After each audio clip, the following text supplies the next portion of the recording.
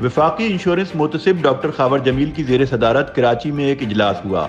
इस दौरान इंश्योरेंस के हवाले से मुल्क भर के अवाम को दरपेश मुश्किल का जायजा लिया गया। इजलास में इस्लामाबाद, लाहौर, पिशावर, कोयटा, मुल्तान और हैदराबाद के रीजनल डायरेक्टर्स और एडवाइजर्स ने वीडियो लिंक के ज़रिए शिरकत की। डॉक्टर खावर जमील ने इंश्योरेंस के हवाले से मुल्क भर से मौसू होने वाली अवामी दरखास्तों और उन पर होने वाले फैसलों के बारे में तफसीलात हासिल की।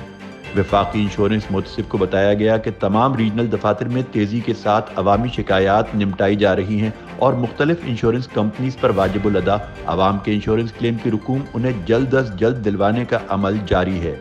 डॉक्टर खावर जमील को बताया गया कि सदर ममलिकत आरिफ अलवी की हिदायत की रोशनी में इंश्योरेंस मुतसिब के तमाम रीजनल दफातर में आवाम की दहलीज तक इंसाफ पहुँचाए जाने का अमल तेज किया जा रहा है। डायरेक्टर जनरल विफाकी इंश्योरेंस मुतसिब मुबशर नईम सिद्दीकी ने कहा कि फैसलाबाद और सखर में भी जल्द विफाकी इंश्योरेंस मुतसिब के दफातर काम शुरू कर देंगे।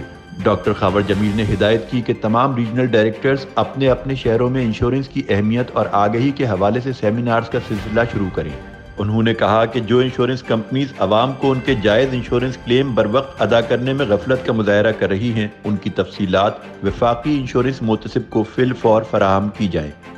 इस मौके पर D G F I O Mubashar Naeem Siddiqui के अलावा कराची से एयाज महमूद, उमर फारूक, रौनक हयात, डॉक्टर फजल मोहम्मद अबरेजो सुबहान मेमन, मुमताज़ कुरैशी और नज़र मोहम्मद कलोड़ो, जबकि लाहौर से अब्दुल बासित खान, इस्लामाबाद से शुएब सिद्दीकी, पिशावर से रफत काजी, मुल्तान से सलीम रजा आसिफ, कोयटा से हफीज़ुररहमान और हैदराबाद से मुतसिम अब्बासी ने शिरकत की।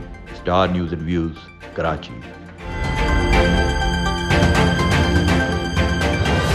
Pakistan का सबसे बड़ा property news network. Star News and views. Like share और सब्सक्राइब करें जरा जल्दी।